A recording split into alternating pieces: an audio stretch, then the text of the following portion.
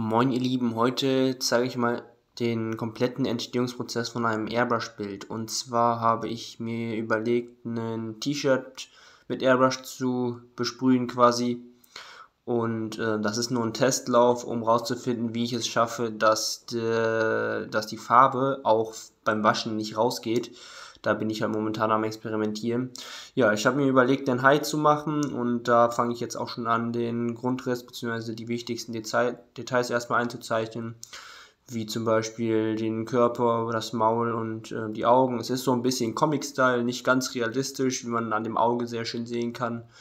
Ja, erstmal alles natürlich mit Schwarz vorzeichnen. Hier die Flossen, die Brustflossen von dem Hai schon mal äh, skizzieren, wo die hinkommen. Und die Schwanzflosse, der schwimmt so leicht um so eine Ecke quasi rum. Da mache ich die, den Schwanz noch fertig, quasi, beziehungsweise die Form von Schwanz habe ich schon mal angedeutet.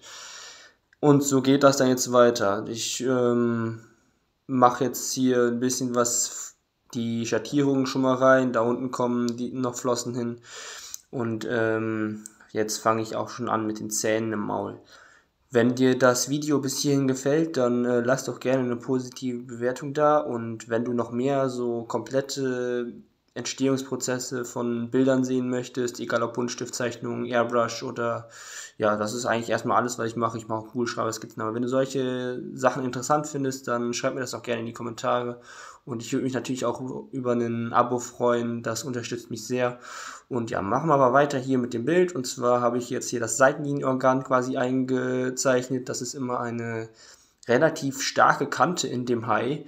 Und ähm, da sieht man halt dann auch, wo der Schatten relativ stark beginnt. Und das habe ich jetzt hier quasi eingezeichnet. Das ist alles ziemlich dunkel geworden jetzt. Das Auge sieht man kaum noch und die Kiemen. Allerdings werde ich das nachher noch nachbearbeiten mit Weiß.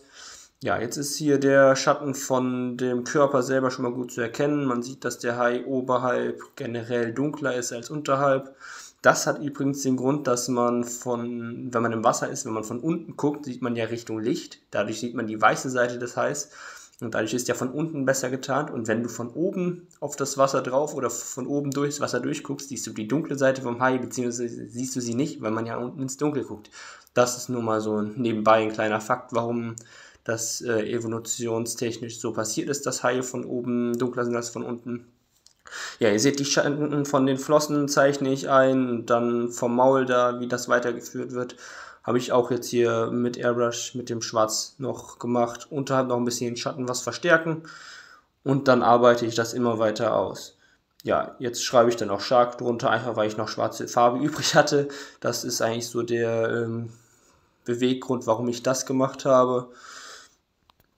Ja, und noch kleine Verzierungen drunter. Oben natürlich mein Künstlername Benbach. Ähm, und dann ist das Bild auch schon fast fertig. Gleich werde ich noch mit Weiß ein bisschen was die Lichteffekte reinbringen. Erstmal natürlich noch die Schwanzlosse fertig machen.